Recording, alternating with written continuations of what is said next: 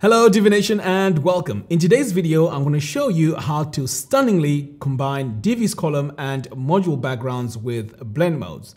This is the final design that we're aiming for, so without wasting a lot of time, let's dive in and let me show you how we created this. Okay, so the first thing I'm going to do here is to create a brand new page. So I'm going to come over here to pages, click on add new. So I'm going to call my page blends, but of course you can call this page whatever you want. Right, I'm gonna go ahead and click on use the Divi builder and then we're gonna go straight into our visual builder. So what we need to do here is to add our column structure. So I'm gonna start by coming over here and clicking this icon and then I'm gonna add three equal columns. Next, we are going to add a gradient to our column. So I'm gonna come over here to my row settings,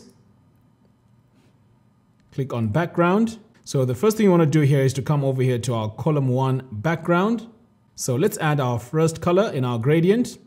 So I'm going to click this tab here for our gradient, click this plus button, and I am going to add my first color. Now my first color here is going to be an RGBA value, so I'm just going to highlight what's in here between the brackets and add my values.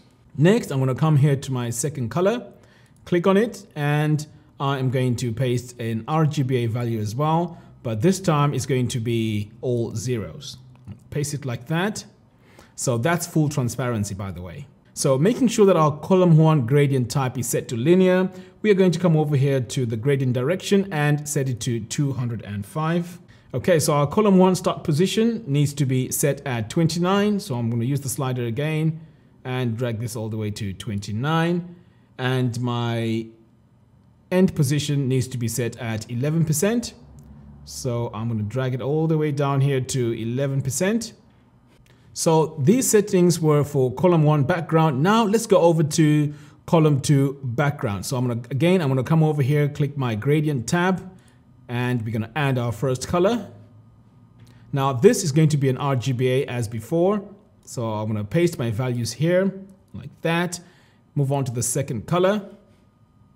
And this is going to be full transparency. So I'm gonna drag both sliders all the way down like that. Just like the first one, our, our gradient here needs to be set at linear. And then our gradient direction needs to be set at 180, which is by default, which is fine. And then our start position here needs to be set to 45 degrees, like that. And our end position needs to be set at 42%. Now we need to do the same on column three, column three gradient. So I'm gonna come over here, click my gradient tab, click this plus button here, add my first color. As before, it's an RGBA. I'm gonna paste my values between the brackets like this. Select my second color. Now over here, it needs to be full transparency. So I'm gonna drag all this, the slider all the way down to the bottom like that. Now let's go ahead and add our gradient direction and this needs to be set at 156. So I'm just gonna slide this back a little bit until I get to about 156 like that. Our start position needs to be set at 29%. So I'm going to drag this to about 29% like that. And then our end position needs to be set at 11%. Perfect. So you can see here on the right that uh, our shapes are beginning to take shape, which is great. Okay, so now we're done with all this. Next thing we need to do here is to come over here to design, click on sizing. Now what we need to do here is to make this full width. So I'm going to select yes. Next, we need to adjust our padding. So I'm going to come over here to spacing. So for our custom padding top, we're going to set this to 27, 50 to the right, 35 to the bottom, and 50 to the left. Okay, so now that we've done the custom padding, it's time to add the borders. So I'm just going to come down here to the border, click on it. So what we're going to do is we're going to add the border to the left and right to begin with. So I'm going to come over here and select my first border to the right and this is going to be 4 pixels and then over here on the border color I'm just going to paste my hexadecimal value in here. Now if you want to use the same colors that we're using throughout this you can go to our post which I'll link to in the show notes below and use the exact same uh, values.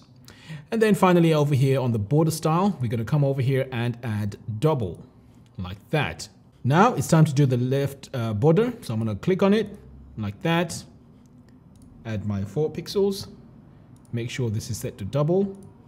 And then I'm going to paste my color in here as well, like that. So now we can see here the double lines are here on the left and the double lines are also here on the right. Now we're going to do the top and bottom. So let's start with the top. So I'm going to click here on the top. Make sure I have my four pixels. Paste my color. And make sure that this is set to double. And then finally, we're going to do the bottom. So I'm going to select it. Four pixels. I'm going to add my color. And then finally, I'm going to make sure that this is set to double. So let's go ahead and save and then now we're going to add our text modules. Now with these text modules, we're just going to build this once and then we're going to duplicate it a few times because the contents of this text module are going to be the same. Okay, so I'm going to search for my text module like that. And then I'm going to add my text. Okay, and then I'm going to paste my dummy text in here and we're going to set this to a heading one like that. Okay, next what we're going to do is we're going to add a background color. So I'm going to come over here to background, click my plus button and paste my hexadecimal value for my color. Now it's time to do our customizations to our text. So I'm going to come over here to my design tab, click on the drop down here for the text, and then I am going to search for my font. So I'm going to come over here and search for Amiko. I'm going to select it I'm to make sure it's set to 13 pixels. I'm to add my text color over here, paste my hexadecimal value. And then over here for my letter spacing, I'm to set this to 3 pixels. Line height, we're to set this to 1.9. And then our text orientation is going to be centered. So what I'm also to do is to come over here to my heading text. And I'm to set this to Amiko. And it's right here, like that. So over here on the heading text size, I'm going to set this to 29. And I'm also going to add a color and line height. So let's start off by adding our color. So I'm going to come over here to my heading text color, paste my hexadecimal value in here. And then over here on my line height, I'm going to set this to 3 EMs, like that. Now it's time to add our margins. So I'm going to come over here to spacing and I'm going to start off by adding my margin. And my margin here is going to be a minus 100 for the bottom I'm to add minus 130 right over here on my custom padding I'm going to start by adding 150 to the top 30 to the right 150 to the bottom and 30 to the left. So now we can see we have enough breathing space around our text which is brilliant Next, we're going to come over here to the border and uh, we're just going to add four pixels here to all the sides. So you can see now we have this rounded uh, corners and this is four pixels. Now we are going to go to our box shadow. So I'm going to select box shadow.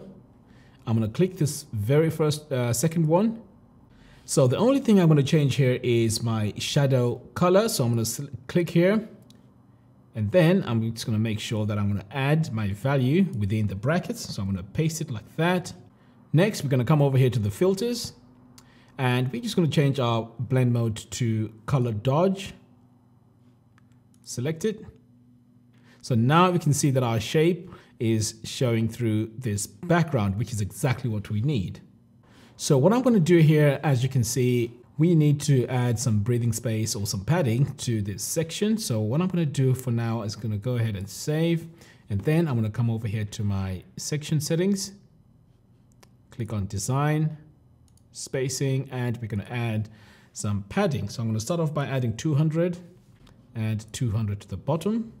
So that's much better. Now we can see our design, which is fantastic. So now I'm going to go ahead and save. So to save us time, I'm going to clone this text module three times. So I'm going to come over here and do it three times. And then I'm just going to drag this over to the middle. And then I'm going to drag this over to the right like that. So the only thing that we need to change here is the custom margins. So I'm going to come over here to my uh, module settings, click on design, spacing, so the top is fine at minus 100 and the bottom needs to be 130. Okay, so that's all we need to do. Now, one thing that you also may want to make some changes to here or some adjustments to is the mobile view. So if you click here on this gear icon, on this um, icon, we get to make adjustments to the tablet. So this is where you can also add your margin. We're going to do our final preview. Okay, so that's our final design. So there you have it. Thank you all for watching. If you like this video, please give me a thumbs up and do follow us on our social media platforms. By doing so, you'll be notified every time we release new videos. Until next time, thanks for watching and see you soon.